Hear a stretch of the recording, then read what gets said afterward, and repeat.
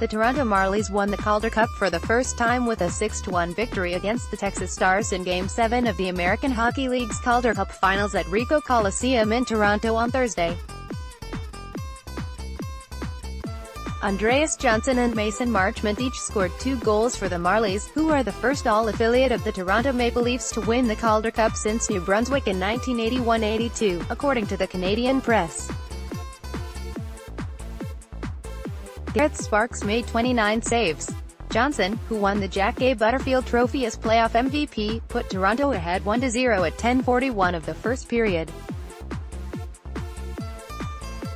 Marchment gave the Marlies a 2-0 lead when he scored with 18 seconds left in the period. After Carl Grundstrom scored at 3.35 of the third period to make it 3-0, Austin Fighten got the Stars within 3-1 at 11.01, but Toronto scored three straight goals in 2.50 late in the period. Johnsson scored his second of the night at 16-14 to give the Marlies a 4-1 lead.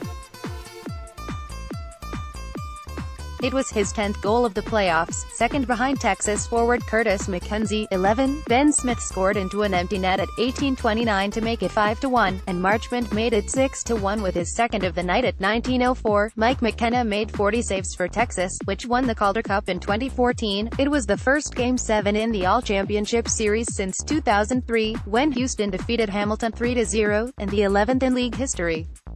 The Marlies lost in the finals to Norfolk in 2012. Photo credit, Christian Bonin, Toronto Marlies.